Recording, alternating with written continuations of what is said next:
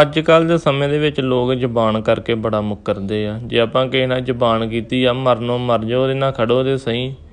ਇਹ ਨਹੀਂ ਆ ਵੀ ਉਹਦੀਆਂ ਸੁਣ ਕੇ ਉਧਰ ਕਰੀ ਜਾਣੀਆਂ ਤੇ ਉਹਦੀਆਂ ਸੁਣ ਕੇ ਉਧਰ ਕਰੀ ਜਾਣੀਆਂ। ਸਿਆਣੇ ਆਂਦੇ ਹੁੰਦੇ, ਯਾਰੀ ਇੱਕ ਨਾ ਤੇ ਸਰਦਾਰੀ ਹੈ ਇੱਕ ਨਾ, ਉਹ ਕੰਮ ਕਰੋ। ਇਹ ਨਹੀਂ ਆ ਵੀ ਦੱਲਿਆਂ ਵਾਲੇ ਉਹਦੀਆਂ ਸੁਣ ਕੇ ਇੱਧਰ, ਉਹਦੀਆਂ ਸੁਣ ਕੇ ਇੱਧਰ ਚੁਗਲੀਆਂ। ਇਹ ਬੁੜੀਆਂ ਕੰਮ ਕਰਦੇ ਹੁੰਦੀਆਂ। ਜਿਹੜੇ ਬੰਦੇ ਹੁੰਦੇ ਆ ਨਾ, ਉਹ ਹਿੱਕ ਡਾਹ ਕੇ ਲੜਦੇ ਹੁੰਦੇ ਆ। ਇਹ ਨਹੀਂ ਆ ਵੀ ਉਹ ਨਿੰਦਿਆ ਚੁਗਲੀਆਂ ਕਰਦੇ ਉਹਦੇ ਮਾੜੇ, ਉਹਦੇ ਬਾਰੇ ਬਰਖਲਾਫ ਉਧਰ ਦੀਆਂ ਉਧਰ ਕਰਦੇ ਆ। ਮੁੜ ਕੇ ਕਹਿ ਦਿੰਦੇ ਅਸੀਂ ਤੇ ਉੱਤੋਂ ਉੱਤੋਂ ਹੀ ਆ, ਵਿੱਚੋਂ ਥੋੜਾ ਅਸੀਂ ਖੁਸ਼ ਆ। ਇਹੋ ਜਿਹੇ ਲੌਂਡਿਆਂ ਵਾਲੇ, ਦੱਲਿਆਂ ਵਾਲੇ ਕੰਮ ਕਰਨੇ ਛੱਡ ਦੋ। ਕਿਉਂਕਿ ਜੇ ਆਪਾਂ ਜਿਹਦੇ ਨਾਲ ਖੜ ਗਏ ਆ, ਭੈਣ ਜੋ ਇੱਕ ਡਾਹ ਕੇ ਲੜੋ।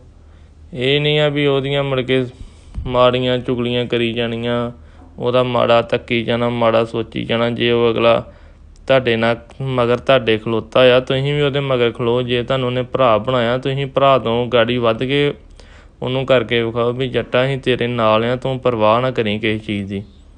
ਇਹ ਨਹੀਂ ਆ ਵੀ ਲੋਕਾਂ 'ਚ ਉਹਦੀ ਭੰਡੀ ਕਰਨੀ ਉਹ ਮਾੜਾ ਆ, ਬੰਦਾ ਉਹ ਆ ਇਹ ਸਫਾਈਆਂ ਰੱਬ ਦੇ ਦਾ ਬੰਦਾ ਨਹੀਂ ਕੋਈ